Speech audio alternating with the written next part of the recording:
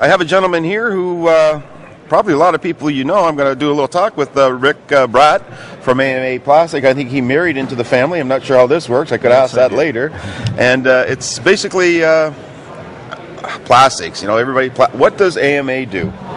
Thanks, Larry. First of all, thanks for coming out for this interview. My pleasure. Thank you. Uh, what does AMA do?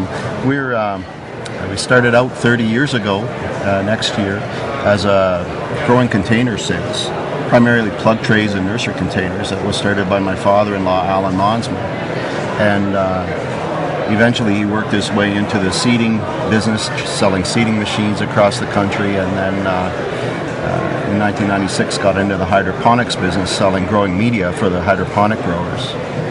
And that's when my wife and I looked at each other and wondered how he was going to do that on his own. So she started part time with him, and I came along in '97, and we ended up both full time with him.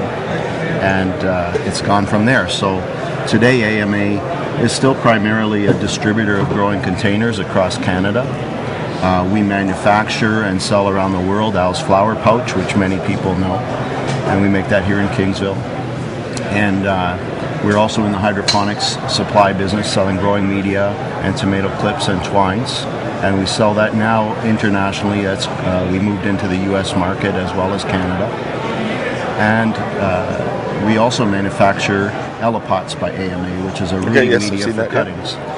So you you're, you do wholesale and retail, so you know the average gardener can come out and buy some of your pouches and hanging baskets too. So you have a retail shop. And we don't really have a retail store. It's primarily aimed at the wholesale market. Okay, and where, where is it located? I mean, in case. We're here in Kingsville, just off of uh, off the third concession on Spinks Drive. Okay, that little industrial park there. Correct. First one on the left. Yes. Perfect, great. Uh, noticing here, you always amaze me how how you can bring in all of your stuff. That basically what you're what you're selling.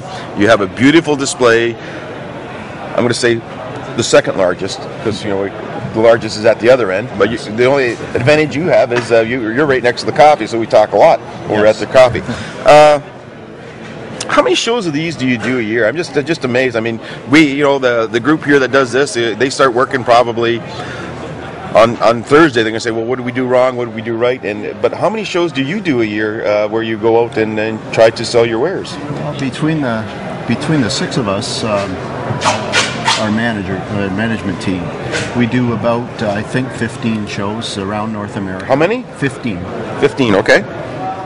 And that's just North America, but uh, you you travel abroad. Uh, you you were telling me before We you do. just We just returned from Holland a week ago uh, from HortiFair. We've been attending that show for the last 10 or 12 years, uh, and just to, to see what's new in the industry, the technology changes that are coming down uh, the pipe are amazing, and uh, I think we've seen nothing yet. So I mean, uh, they always say the stuff in uh, over in Europe gets here a little bit late, but I mean, uh, our, our, our greenhouse growers are doing great. I mean, the flower I've never seen so many. uh, The flowers are beautiful this year because of the weather. You know, well. I guess uh, we're, we're, we're getting short here on time, but there's a couple of what's new, and I'd like everybody hears the buzzword uh, innovation, stability, sustainability. Sustainability. Sustainability. What, what can you tell about that? It's a it's a big part of our industry now, and uh, certainly at our business. Um, a few years ago, we changed our Al's Flower Pouch uh, to an oxo-degradable film, for example. So we know that the end consumer uses that pouch. It's not going to make it into a recycle program because they generally don't exist for that small quantity of polyfilms.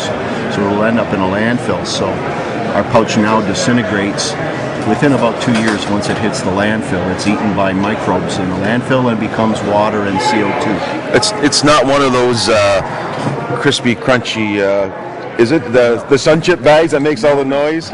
Nothing like that. You can't tell the difference. Okay. So no, I just uh, I don't know uh, what else to ask you other Well, than we also uh, have introduced Sublime. Uh, Sublime? From BVB in Holland. It's uh, a new growing media for the hydroponic business. And it's made of polyurethane foam. It's uh, showing very good results in the European trials, and we've got trials going here in Essex and Kent County now. Um, we feel that we'll see some increased production in the tomato, pepper, and cucumber crops on it. And uh, one of the other benefits is it's very steerable for the grower. It's very controllable. and it's sustainable as well. Uh, at the end of the crop life, it becomes fuel, so it can go into the biomass or the coal boilers or an industrial boiler. And that's a way to get rid of the problem we have uh, with stone wool, for example, which is very difficult to, to uh, get rid of. Great. Well, I want to thank you for coming out. Thank you.